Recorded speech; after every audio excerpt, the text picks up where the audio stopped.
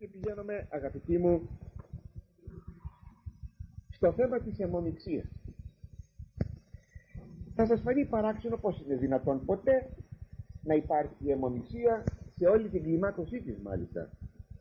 Αν έπρεπε να σας γράψω, αλλά δεν μπορούσα να τα γράψω όλα, ο χρόνος δεν θα με έπαιρνε και δεν μπορούσα να γράψω τόσα πολλά που έχει εκεί ο νόμος του Θεού. Αγαπητοί μου κατεβατά ολόκληρα έχει το θέμα της αιμονιξίας. Ο, ο παλαιός νόμος έγραψα τα κυριότερα. Για να δείτε πόσο φοβερό πράγμα είναι η αιμονιξία. Η αιμονιξία δεν είναι μόνο στην περίπτωση ενός επισήμου γάμου με συγγενικών πρόσωπων αλλά και με τη μορφή της πορνείας που γίνεται με συγγενικών πρόσωπων. Αν υποτεθεί ότι δεν μπορείς βεβαίως να παντρευτείς την αδελφή σου αλλά όμως συνέρχεσαι με αυτής τότε βεβαίως και στην μία περίπτωση αν θα παντρευόσουν και στην περίπτωση που απλώς πορνεύεις λέγεται αιμομιξία. Και μάλιστα αιμομιξία ιδια... συγγνώμη, πορνεία, πορνεία ιδιάζουσα. Ξέρετε πως την ονομάζει αυτή την πορνεία την ιδιάζουσα ο Απόστολος Παύλος; Ακούστε πως την ονομάζει όταν του κατηγγέλθει στην Έφεσο που είπε ότι κάποιος Κορίνθιος συνήρχεται μετά της ε, γυναικός του πατρός του. Δηλαδή με τη μητριά του. Και λέγει εκεί ο Απόστολος όλος ακούεται εν ημίν πορνεία και τι αυτή πορνεία ώστε να κάποιος έχει την γυναίκα του πατρός αυτού ώστε λοιπόν αυτό το όλος ακούεται πορνεία και αυτή πορνεία δηλαδή το αυτή πορνεία θέλει να δείξει το μέγεθος. Δηλαδή ιδιάζουσα. Και έτσι πορνεία ε, εξεμομιξία είναι ιδιάζουσα πορνεία. Τι είναι αιμομιξία τελείως. Το λεβιτικόν 18,6 άνθρωπος άνθρωπος προς πάντα οικία σαρκός αυτού ου προσελεύσετε αποκαλύψτε ασχημοσύνη εγώ Κύριος. Είναι γενικός νόμος αυτό ή παρακάτω είναι διασάφησης αυτού του νόμου. Άνθρωπος δεν πρέπει να συνέλθει με τα γάμου με τα οικία προς πάντα οικία σαρκός αυτού.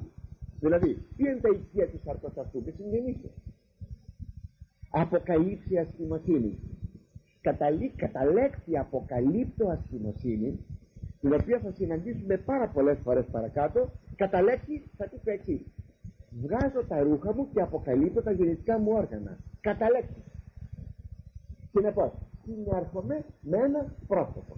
Τώρα συγκεκριμένα με συγγενικό. Αυτό θα πει η έκφραση αποκαλύπτω αστιμοσύνη εγώ Κύριος λέει ο Θεός. Εγώ ο Κύριος το εντέλω με αυτό. Όχι ο Μωυσής εγώ ο Κύριος ο Θεός.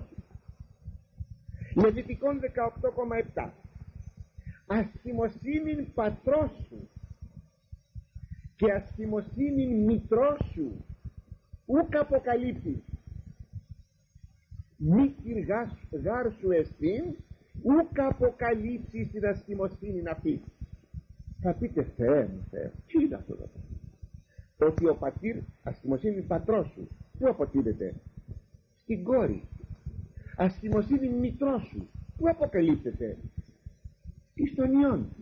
Μπορεί να συνέλθει η κόρη μετά του πατρός και ο γιος μετά της μητρός αγαπητοί. Μα για να τα λέει ο νόμος του Θεού. Να τα λέει ο νόμος του Θεού. Βεβαίως. Φοβερόν φοβερόν εμένα μου έτυχε κάποτε η εξής περίπτωση. Πολλά χρόνια. Δεν θα σας κάνω περιγραφή δεν θα αντέξετε. Θα σας πω μόνο την περίπτωση. Συνήθετο ο πατέρας με τον 18χρονο γιο του. Αδιανόητο. Κι όμως αληθές αγαπητοί. Αληθές. Αδιανόητο αλλά για να τα λέει ο λόγος του Θεού. Ξέρετε πόσο καθαρά τα λέει ο λόγος του Θεού; Δεν μπορούμε να υποστείλουμε εμείς για λόγους δίθεν σεμνότητος. Η σεμνότητα είναι το να μην διαπράττω με αυτά. Γιατί πράγματι θα ήθελα να ξαναπώ άλλη μια φορά εκείνα που σας είπα που λέει ο Ιερός Χρυσόστομος και η πίνη οκνό και σιωπάν πού βούλομαι να μιλήσω διστάζω να για μια στιγμή είπα βγάλτε το να μην ακούγεται έξω το μεγάφωνο και περνάει κανείς και ακούει αυτό και λέει τι λένε αυτοί οι άνθρωποι μέσα εκεί; Η πίνη οκνό διστάζω να μιλήσω. Αλλά και σιωπάν ου βούλομαι δεν θέλω να σιωπήσω. Γιατί; Ου βούλομαι σεμνότητη λόγων. Καλοπίζεστε αλλά σεμνούς πείσε τους ακούοντας. Δεν θέλω να μιλήσω απλώς με ωραία λόγια ωραιολογίες αλλά ωραίους και σεμνούς να κάνω αυτούς οι οποίοι με ακούν αυτά λέγει ο Ιερός Χριστός και εφόσον ο λόγος του θέλει καθαρά εγώ ποιος είμαι να τα υποστείλω και συνεχίζω. Ασχημοσύνη της αδελφής σου που καποκαλύψεις.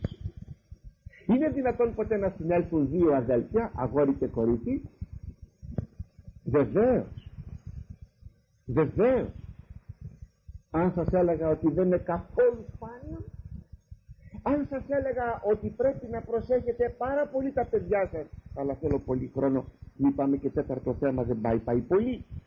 Να προσέχετε πως θα βάζετε στο σπίτι σας πως κοιμώνται τα παιδιά σας εκεί δωμάτιο αγόρια κορίτσια. Να προσέχετε και να αγρυπνείτε. Να μην κρύβετε κάποτε τα μάτια σας.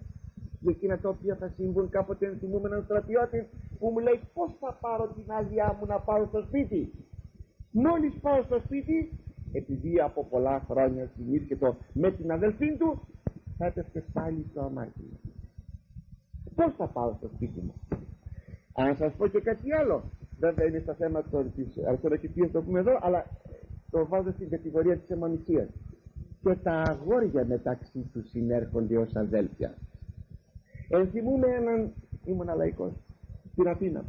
Ενθυμούμε κάποτε έναν παιδί 18 χρονών τελείωνε το γυμνάσιο και προεκαλείται από τον μικρότερο αδελφόν του που ήταν 16 χρονών περίπου και αναγκάστηκε το παιδί να ταξιδέψει στα καράβια για να φύγει από το σπίτι του να σπάσει αυτόν τον γλιόν της αμαρτίας.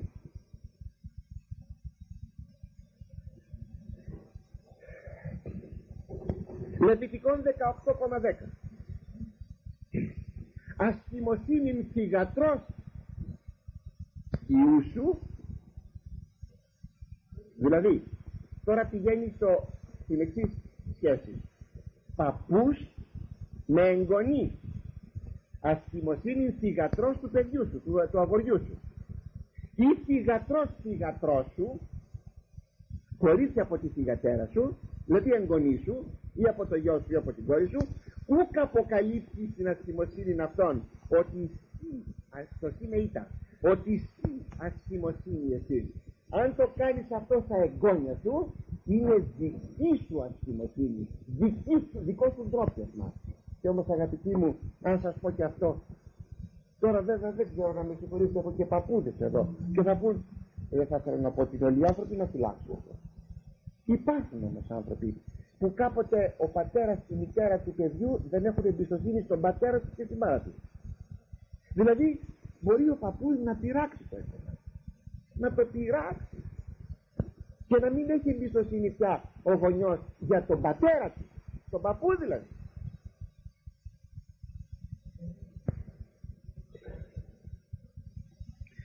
Λεβιτικών 18, 12-13 Αστιμοσύνη αδελφή πατρός σου και εντός αγωγικών γιατί το έχει, είναι μεγάλο και το έχω κόψει λίγο ή μητρός σου.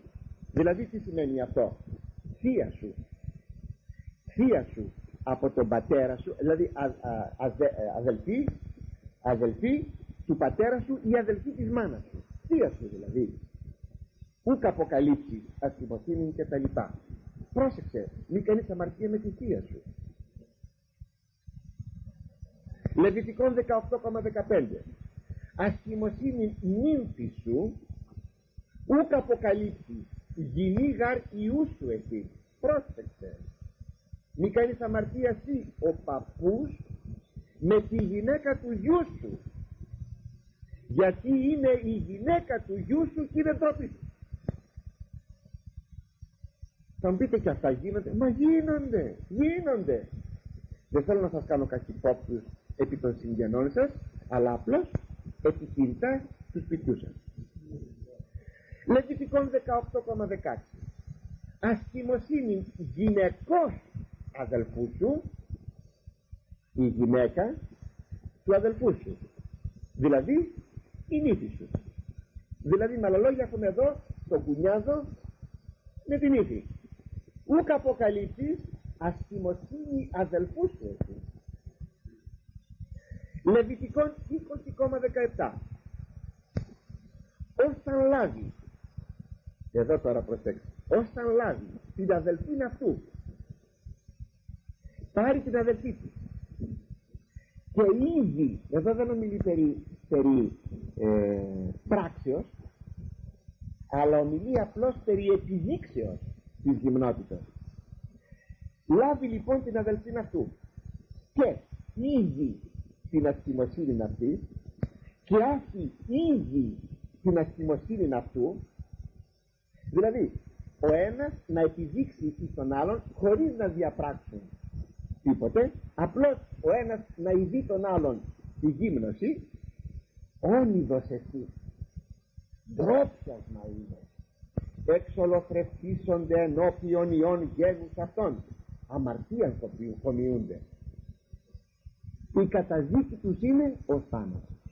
Αυτό θα πει εξολοθρευτήσονται ακούσατε; Το να δει την αδελφή σου γυμνή ή να δει εκείνη εσένα. Δευτερονόμιον 27,23 Επικατάρατος ο κοιμόμενος με τα πενθεράς αυτού. Μπορεί να υπάρχουν σχέσεις παράνομες μεταξύ γαμπρού και πεθεράς Ναι αγαπητοί. Ναι Επικατάρατος